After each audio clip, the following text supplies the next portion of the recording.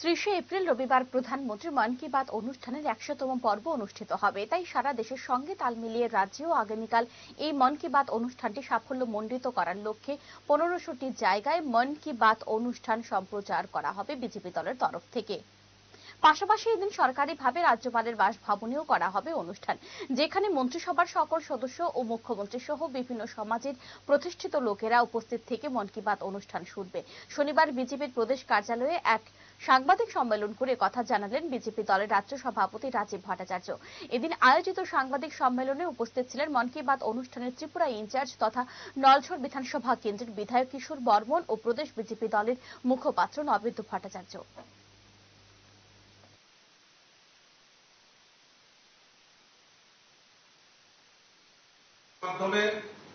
আমি রাজ্যের আপামর জনসাধারণের কাছে আমি আবেদন রাখব।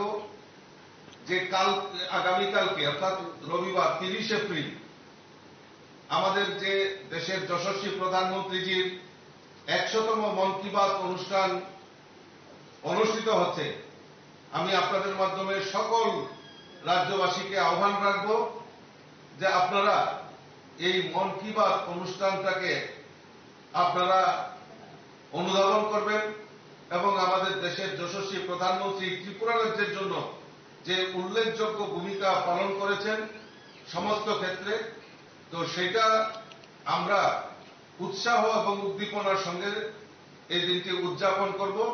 সেই লক্ষ্যমাত্রা আমরা রেখেছি।